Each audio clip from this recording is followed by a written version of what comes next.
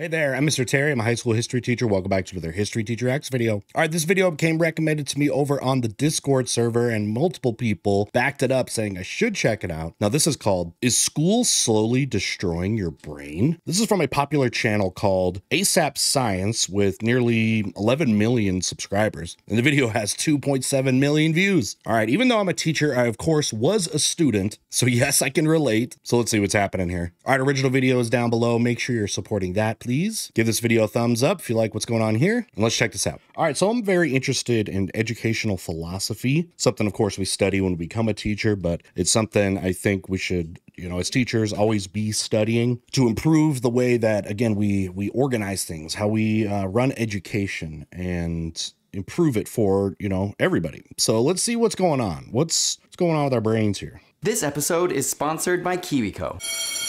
Dear what- school, today I want to talk about something that on the I'm surface may seem trivial, but it's actually do a work at one. huge deal, and that is school start times. Because when I tell Ah, you that yes. you might not only They're be too early. severely I impacting your students' mental capacity and intelligence, both in the moment and the future, but also impacting their physical and mental health, I'm not exaggerating. Let me put it bluntly. School needs to start later, at least for high school and university age students. And I don't mean later as in later in the year, I mean later as in not so freaking early in the morning.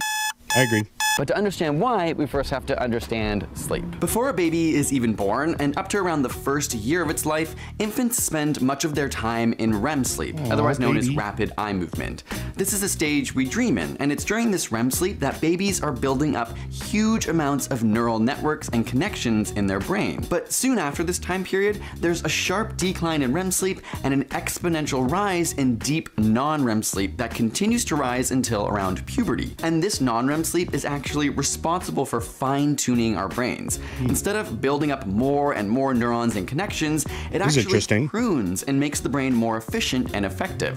It's basically taking the mold that early life created and sculpting it based on your life experiences and interactions. so it's it's exercise for your brain it's increasing your capacity to function therefore learn. I like to tell students that your brain is it's, it's something you have to work out. It's it's something yeah that it, it, it has to be healthy just like any other part of your body um, it's something you have to exercise you need to increase its capacity and functionality and there's things that can do that and there's also things that can destroy that And studies have shown that this non-REM sleep is linked to the development of critical thinking, reasoning, and cognitive skills. Now, some of you might be screaming, reasoning skills, critical thinking in teens? And you'd be right in noticing that teens aren't exactly starts. known for these things. But ironically, the development of the brain during this non-REM increase happens from back to front. Literally, the back of the brain, which manages visual and spatial perception, develops first, and this growth eventually makes its way to the front of the brain or the frontal lobe last, which finally enables critical and rational thought. Hmm. This is why it sometimes feels that kids' brains aren't exactly working or keeping up with the rest of their development. The thing is, when non-REM is minimized or removed, things can go really wrong. In studies of mice and cats deprived of sleep, the brain development is stopped. In fact, many psychiatric disorders like schizophrenia, bipolar, and major depression are considered disorders of abnormal development. Now, I already know what some of the counter, I guess you call them counter arguments, at least refutations or just the nuance of the whole starting school a little bit later thing. I want to see if they're going to present it, but if not, I have some things to share. So make sure you're staying tuned. Studies on schizophrenia in particular have shown that there is a two to threefold reduction in non REM sleep in teenagers that suffer from it. To top it all off, teens actually need more sleep than their adult counterparts. So By the way, undiagnosed schizophrenia uh, like that is also going to make people more uh, prone to conspiracies and that type of thinking. If they're not getting enough hours of sleep, then they aren't going to be getting the optimal amount of non REM sleep, which can hamper development. Now, I know what you're asking how does this correlate to the time that school starts? Can't teens just go to bed early like the rest of us and get a long enough sleep? And if not, what time should school be starting at? Before we get to that Okay. answer, I want to quickly thank today's sponsor, KiwiCo. No word of a lie, KiwiCo is one of our favorite companies defining the future of play and learning at home. Every month they release a crate that that's designed by experts and tested by kids that teaches about science, technology, engineering, art, and math through hands-on learning. They're truly awesome to Cool. experience, even as an Sounds like adult, what, because like, they Mark make crates Rober for sells. all different ages through Those eight cool, different little subscription kits for kids. I of course love the Maker Crate, which is designed for ages 14 to 104 plus, but all Aw, of them are amazing and I've had a great time playing with Whoa. so many of them with my niece and nephew. Each box comes with all the supplies you'll need for that month's unique project, so there's no need to run out to the store or get extra supplies. It's one. a blast every single time. Get it? A blast? Use kiwico.com slash ASAP to get your first month free, which also helps our show. I mean, bam! What more can you ask for? Learning and Win-win. supporting science creators. Again, that's kiwico.com slash ASAP for your first month free. Now back to some sleepy science. So why does the specific time matter so much? Isn't it more relevant how much sleep kids are getting? Yes and no. The first thing you need to know is that as kids move into puberty, their circadian rhythm completely shifts. Yep. Our circadian rhythm is the Yep. name given to our internal clock that controls your body's sleep-wake cycle. In other words, it helps define when you feel tired and want to sleep versus when you feel at your most alert. This rhythm is of course different for everyone. We all have our unique chronotype, which is why some people are considered early birds and others are night owls. But in general, adults Sure. share a propensity to wake and sleep at roughly the same time. The thing is, one of the biggest factors defining our circadian rhythm is our age. Young kids before Right. puberty not only need the most sleep, but tend to have a really early schedule. They become sleepy early in the evening and wake up earlier than adults typically. But as we hit puberty, the timing is Yeah, shifted shifts. forward past even their Right. parents by as much as two to four hours, meaning we want to stay up much later. I, I predict that most of you watching this, because I think I'm the same way, that same ideal, you know, alert times are definitely true. I totally agree right now. And this change is seen across all adolescents, regardless of culture or geography. Where a nine year old will typically fall asleep around 9 p.m., by the age of 16, that's actually often the hour of peak wakefulness. Asking a Yeah. teenager to go to bed at 10 p.m. That's is like that, I agree. That's that's when I'm the most alert. I mean, literally, it's about when I'm filming this video. I like to work. I like to work on my like YouTube stuff later in the night, in the even the evening, in in in the night. I, I I don't know. I feel better and more motivated than I do uh, in the afternoons and and and the mornings. I don't know. It's just I, I have more energy. I guess. I'm, I think I'm still in that that teenage brain.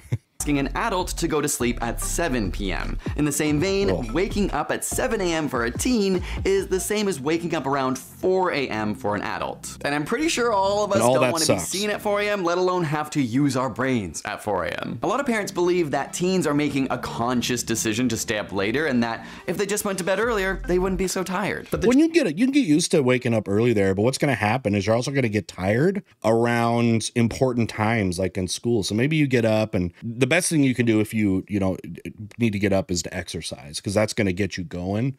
Um, but if you don't and you get up early just for the sake of getting up early, uh, you're probably going to get tired around lunchtime, like really tired.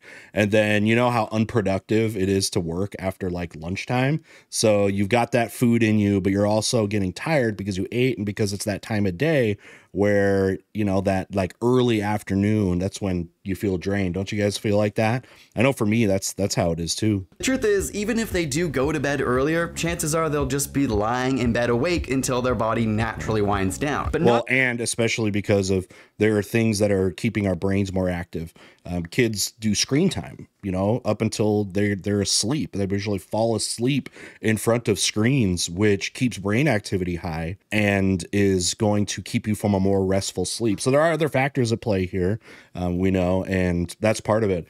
The best thing you can do for yourself is to get rid of all of that kind of high sensory activity about an hour before you want to go to bed. You got to get uh, rid of that stuff. You got to turn off screen stuff that again is high intensity, high sensory, and do something else. Uh, maybe it's it's read a book or you know something that's less sensory driven. Not embracing this biological timing, on top of the fact that teens need more sleep to begin with, risks developmental brain abnormalities and mental illness, and we have experimental evidence to show it. Later start times increase class attendance, reduce behavioral and psychological problems, and decrease substance and alcohol abuse. Longer sleep is directly correlated to better grades in teens across the board and higher IQs. And studies on identical twins show that by the age of 10, the twin with the longer sleep pattern has superior intellectual abilities with more expansive vocabulary too. And school- there's there's been a study about that. Like which scientists were like taking teens, you know, like twins or whatever, and like doing this. Like, all right, you are gonna stay up late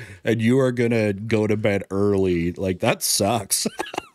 Schools that have tested later start times have seen a huge shift. A school in Minnesota that changed from a 7.25 a.m. start to 8.30 a.m. found that verbal SAT scores rose by over 150, while math SAT scores went up by over 50. And while we've talked about the importance of non-REM quality sleep in young adults, that's not to say REM sleep isn't also really important. Studies in the 1960s that deprived young adults of REM found that by the third day of extreme deprivation, participants started to exhibit signs of psychosis. They were anxious, moody, and I'm not surprised by any of this. became paranoid. REM also becomes longer yeah. and more prominent in the later parts of your sleep, meaning if you cut your sleep short, you're disproportionately yeah. impacting the amount of REM you're getting. So you you know eh, you probably feel that sometimes your alarm goes off when you're in the deepest of sleeps, and that is like torture. I do have some stuff to add here. I want to see if he gets to some of the reasons why it's early why is it early? If he doesn't, I'm going to interject. Life expectancy has also been shown to increase with later start times. So